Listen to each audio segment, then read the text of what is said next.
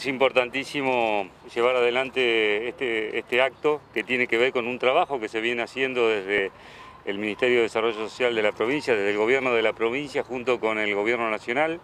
El plan egresar es este, una manera de acompañamiento que hay para los jóvenes sin cuidados parentales de 18 a 21 años y que estuvieron eh, institucionalizados en, algún hogar, en alguna residencia perteneciente al sistema de protección de niños, niñas y adolescentes. Bueno, esta idea de, acompañamiento, de empezar a, iniciar el camino de vida de, los jóvenes de esas edades con las posibilidades de extenderse eh, este programa hasta los 25 años, bueno, certificando estudios o este, que se está llevando adelante una capacitación en algún oficio.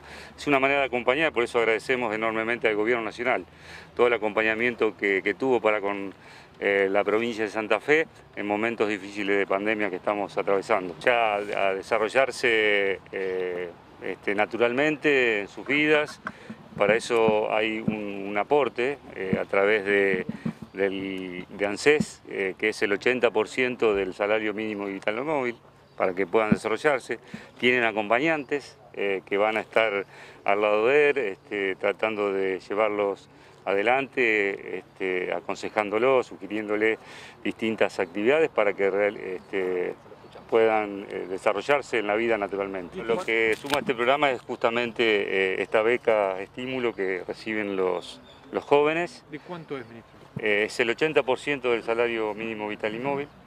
Es para mm, bueno, que puedan eh, desarrollar su vida este, normalmente y el acompañamiento que también se ofrece desde este programa. Van a ser 10 jóvenes los que van a, vamos a entregar este, el, programa.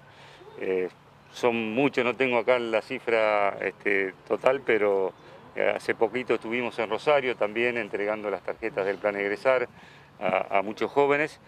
Hoy lo hacemos con, menos gente por el tema de, la pandemia, pero la idea es estar acompañándolos eh, a todos los jóvenes que están en esta situación.